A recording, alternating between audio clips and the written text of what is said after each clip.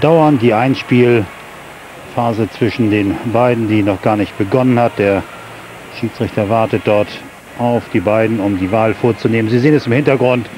Es hat sich ein wenig sehr gelichtet. Wir wollen diese Zeit nutzen und nochmal auf den M1 gucken. Auch dort eine interessante Partie. Nicolas Lapenti aus Ecuador hat drüben Aufschlag gegen Roger Federer, der den ersten Satz schnell mit 6-1 gewinnen konnte, aber der zweite Durchgang doch eine zähere Angelegenheit zwischen diesen beiden. Lapenti läuft seiner guten Form von vor zwei Jahren seit geraumer Zeit hinterher. Die Nummer 1 Ecuadors, inzwischen auch 25 Jahre alt. Spielball zum 5 beide.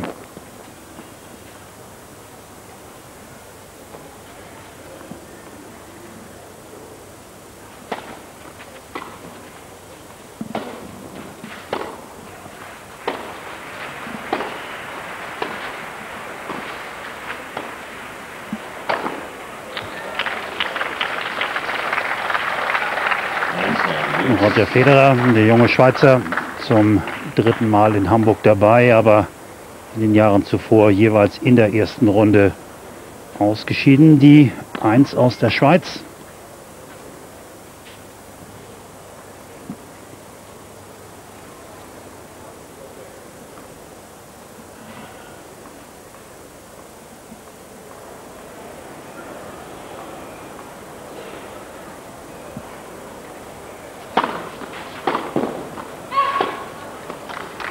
Der Return wird knapp ausgegeben, der Return von Federer, 20 Jahre jung, aber schon im fünften Jahr als Profi auf der Tour. Auch er hat ganz jung angefangen mit dem Geldverdienen im Profitennis. Wieder die Chance für Lapenti, sich im Match zu halten.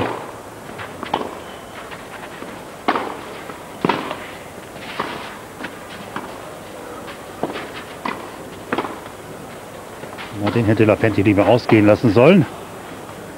Stattdessen steckt er, steckt er da den Schläger rein in diese Rückhand und spielt einen Volley hinten von der Grundlinie. Wieder ist das 5 beide vertagt.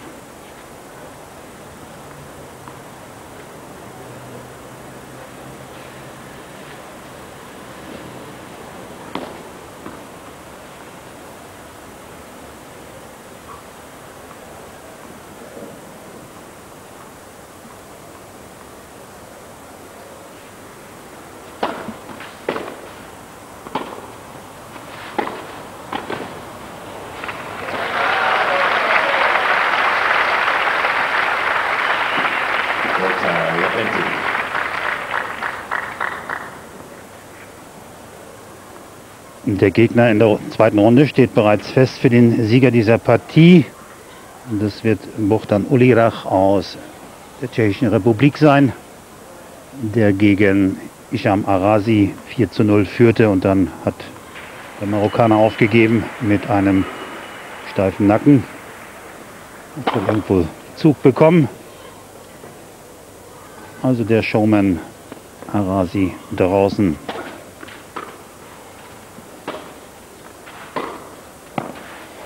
Auch der dritte Versuch, gleich zu ziehen zum 5 beide gescheitert von Niklas Lapenti aus Guayaquil.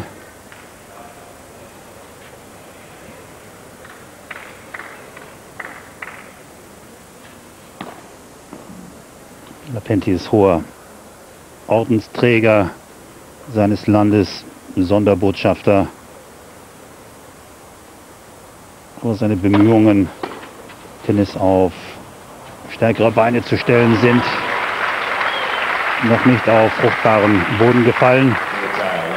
In Ecuador gibt es nach wie vor nur Privatclubs und der Zugang für Minderbemittelte zum weißen Sport ist nahezu unmöglich.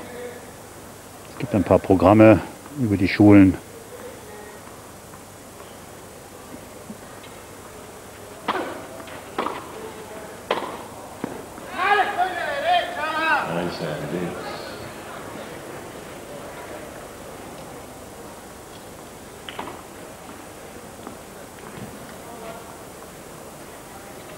Der erste Durchgang war wirklich eine Blitzangelegenheit, aber im zweiten Durchgang gab es auch Breaks und Rebreaks.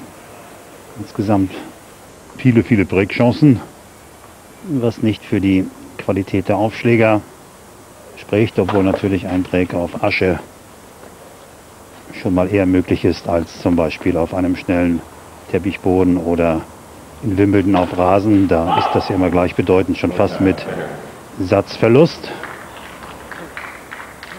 Und jetzt hat Federer das Ad, the Advantage, Vorteil und damit also Matchpoint.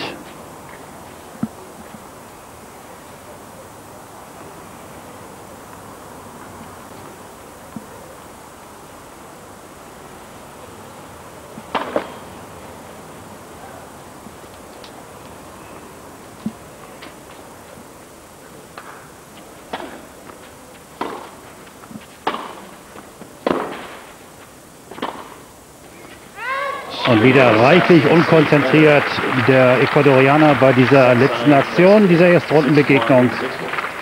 Herr Roger Federer kommt zu seinem ersten Erfolg überhaupt am Hamburger Rotenbaum. Steht damit also in der zweiten Runde gegen Buchtan Ulirach. Filapenti heißt es einmal mehr, außer Spesen fast nichts gewesen. Wir sind wieder live auf dem Center